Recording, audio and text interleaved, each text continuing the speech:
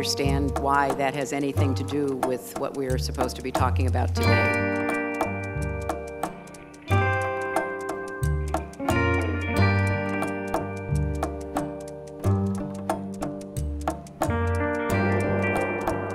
Sidney Blumenthal, Mr. Blumenthal. Sidney Blumenthal. Sidney Blumenthal.